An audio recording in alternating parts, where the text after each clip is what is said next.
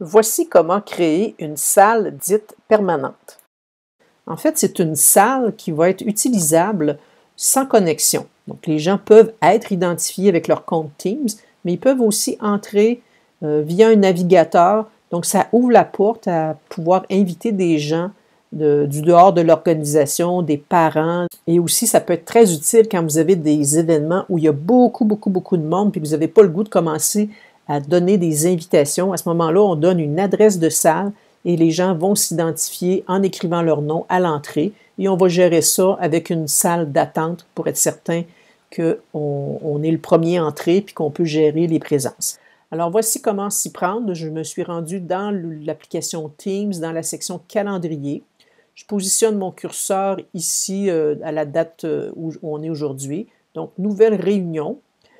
Euh, j'ai les informations, donc je vais dire salle. Les participants, ben là, je vous ai dit qu'on n'inviterait pas les gens un par un. Par contre, ça en prend au moins un pour pouvoir enregistrer cette euh, réunion-là, puis envoyer une invitation pour avoir le lien. L'idée, c'est d'avoir le lien. Alors, je vais m'inviter moi-même.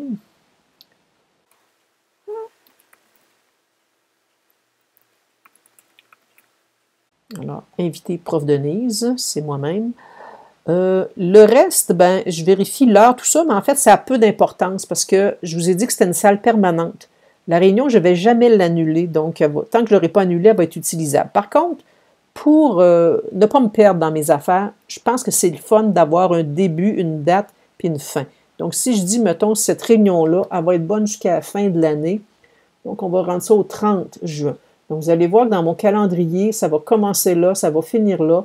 Donc, pour pouvoir rapidement accéder comme organisateur à ma réunion, ça va être plus facile comme ça. Pas besoin d'ajouter un canal, on n'est pas dans une équipe. Tout le reste, ce n'est pas nécessaire, donc je fais envoyer. À partir de là, vous voyez, c'est une réunion qui commence là et qui va finir à la date que j'ai mentionnée, le 30. Maintenant, je vais aller euh, avoir, vérifier les options de cette réunion-là. Donc, je vais aller modifier. Maintenant, j'ai accès à ceci. Tantôt, je n'y avais pas accès. Donc, je vais aller vérifier les options de cette réunion-là. Donc, on m'ouvre un navigateur.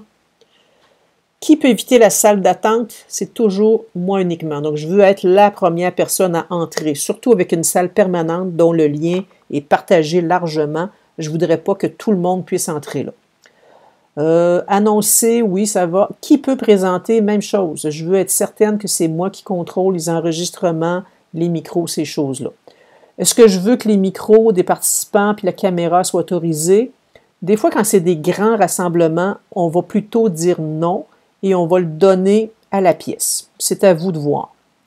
Dans mon cas, c'est souvent des réunions entre collègues de, en dehors de l'organisation, donc c'est plus facile comme ça. La conversation, ben, c'est le clavardage. Évidemment, je vais l'activer. Si c'était, dans votre cas, une réunion, euh, un gala de fin d'année, ben, peut-être que non, vous ne voulez pas de clavardage. C'est vous qui décidez. Même chose pour les réactions, les espèces de petits cœurs, les applaudissements, ces choses-là. Si vous, vous acceptez, vous le laissez comme ça. Si vous aimez mieux pas, vous l'enlevez. Alors, je, j'enregistre le paramètre. Maintenant, je vais retourner dans mon Teams que je vais partager. Donc, rejoindre la réunion sur votre ordinateur, c'est ce lien-là que je vais partager aux gens. Juste vous montrer quand les gens vont avoir ce lien-là, c'est un lien web, donc ils vont, mettons que je l'ouvre en navigation privée, ils vont avoir ceci.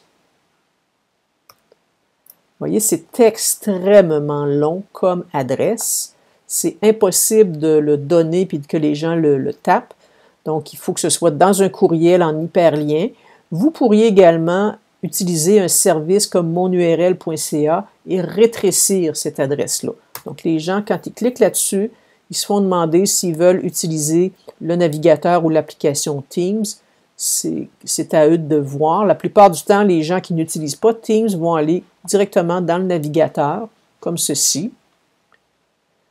Euh, étant donné qu'on est dans un, contexte où est-ce que on a euh, beaucoup de gens, donc ici, la personne, je vous ai dit, elle n'était pas obligée de se connecter. Par contre, on va lui demander de s'identifier.